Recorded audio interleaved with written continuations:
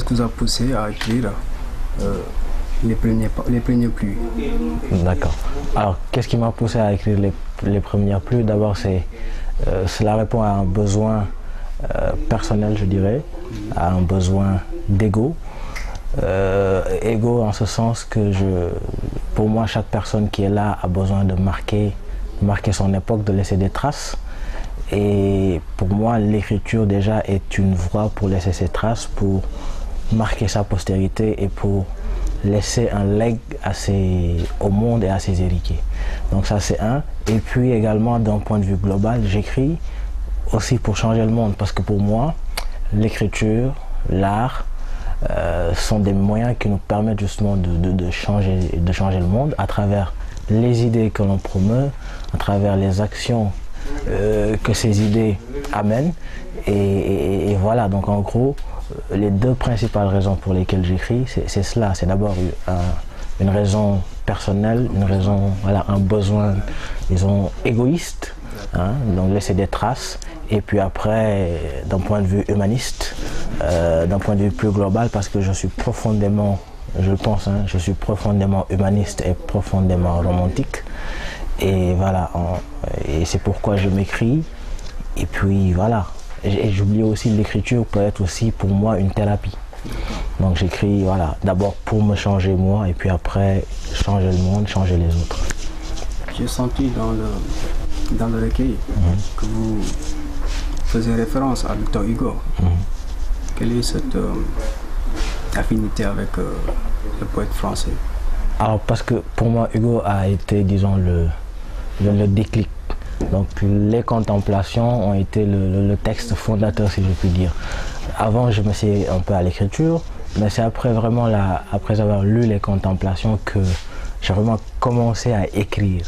Donc à écrire et, et, voilà, et je me suis très tôt retrouvé aussi dans, dans les, dans les idéaux du, romantisme. Hein. Et, d'ailleurs, voilà pourquoi dans, dans, le recueil, on parle beaucoup d'amour, il y a la mort qui est présente, il y a, il y a vraiment c'est euh, un épanchement, c'est toute une histoire. Hein. C'est des témoignages que je fais, c'est des hommages que je rends à des personnes qui me sont chères.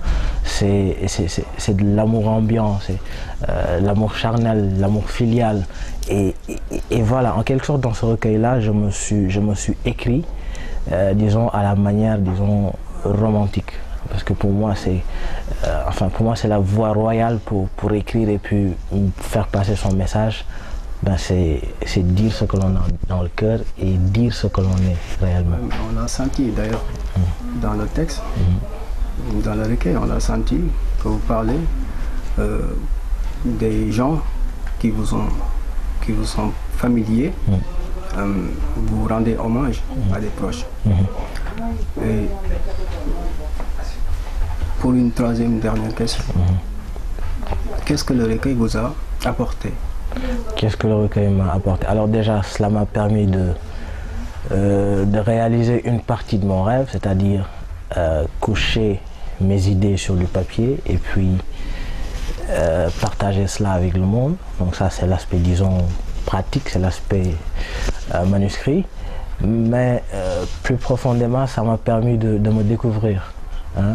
Quand, j'ai commencé à, à m'écrire, là, c'est vrai que j'y suis allé sans tabou sans interdit, sans censure. Et j'espère continuer comme cela, à écrire, à m'écrire d'abord sans tabou, sans censure et, sans interdit. Et, puis, progressivement, bien sûr, euh, me formater, me former. Parce que je, suis conscient que ce premier recueil, et d'ailleurs, voilà pourquoi dans le premier livre, il y a esquisse de poésie. Pour moi, ce premier recueil, c'est des esquisses. Donc voilà, c'est du gribouillage même, si je puis dire. Et puis voilà, donc ça. au fil du temps, au fil du temps, au fil des pages même, je suis tenté de dire. Donc je me suis découvert. Et maintenant également que j'écris d'autres poèmes sur d'autres thèmes, je continue à me découvrir. Mais tout de même, je, reste, euh, disons, romantique, je reste dans, dans l'épanchement, dans le lyrisme, dans, je reste dans mon univers. Non, voilà. Et une dernière question. Mm. Euh, vous avez un message à faire part pour la jeunesse Alors, un message à passer à la jeunesse, à, à- à nos camarades jeunes, ben c'est d'oser rêver et d'oser leur rêve. D'accord. C'est-à-dire pour moi, là, j'ai- j'aime très bien cette, cette, cette, cette phrase qui, euh, que j'utilise souvent, et que la nuit, je rêve beaucoup, et le matin, je me, rêve, je me lève pour réaliser mes rêves. Donc c'est le, le conseil, en tout cas pas le conseil, mais le message que je, je- je veux faire passer aux jeunes, ben, c'est de vivre leurs rêves, de croire en leurs rêves et puis de se dire que rien n'est impossible.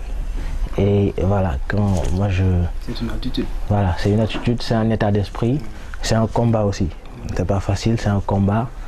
Et voilà, que dans, quel que soit dans le domaine où l'on évolue, que ce soit dans l'art, dans, dans, dans l'ingénierie, dans l'économie, dans le droit, je pense qu'on a tous besoin de cette force, de cet état d'esprit qui veuille que, euh, que l'on croit en ses rêves et que l'on ne se dise pas que c'est impossible.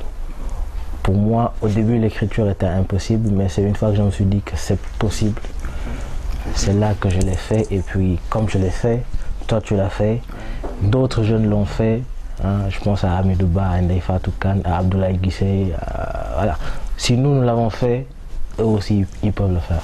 Donc, le seul message que je leur lance, c'est de croire en leur, en leur rêve et puis de foncer et de se dire que c'est possible. Rien n'est impossible. Merci, cher Paul. Merci, Martha.